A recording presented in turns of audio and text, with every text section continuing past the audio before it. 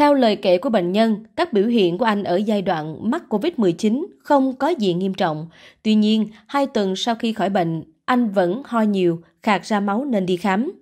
Bác sĩ Đào Huy Hiếu, thành viên nhóm bác sĩ quân y hỗ trợ online chăm sóc điều trị F0 cho biết, bệnh nhân khá trẻ, cao 1m74, nặng 75 kg, có tiền sử rối loạn lipid, đặc biệt chỉ số cholesterol và đường huyết của bệnh nhân cũng rất cao. Bệnh nhân được chỉ định làm xét nghiệm D-dimer, chỉ số huyết khối trong máu và cho kết quả tăng khá cao. Ở người bình thường thì chỉ số này là 0 đến 500 ng trên ml thì của bệnh nhân lên tới 4.665 ng trên ml. Bác sĩ Hiếu cho biết, chúng tôi nghi ngờ bệnh nhân có huyết khối ở phổi nên chỉ định chụp CT. Kết quả cho thấy huyết khối hoàn toàn động mạch phổi phải. Ngay sau đó bệnh nhân đã được điều trị bằng thuốc tiêu sợi huyết thành công.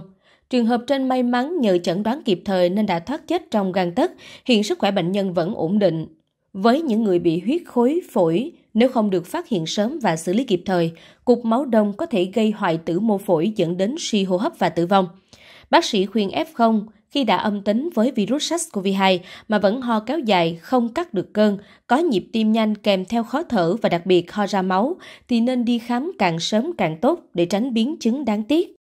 Đặc biệt, nhóm nguy cơ cao như người có bệnh nền, tăng huyết áp, mỡ máu, tiểu đường thì nên đi khám trước khi có triệu chứng xảy ra. Mọi người không nên chủ quan khi nhiễm bệnh mà cần theo dõi kỹ sức khỏe để giúp giảm nguy cơ hình thành cục máu đông khi mắc COVID-19. Người bệnh nên tập thể dục thường xuyên, đi bộ ít nhất 30 phút mỗi ngày, giúp cho máu lưu thông ổn định, đồng thời giữ cân nặng hợp lý để góp phần giảm bớt áp lực lên tĩnh mạch và giảm nguy cơ đông máu, uống nhiều nước. Bệnh COVID-19 có thể để lại biến chứng tại tất cả các cơ quan trong cơ thể, không riêng gì đường hô hấp.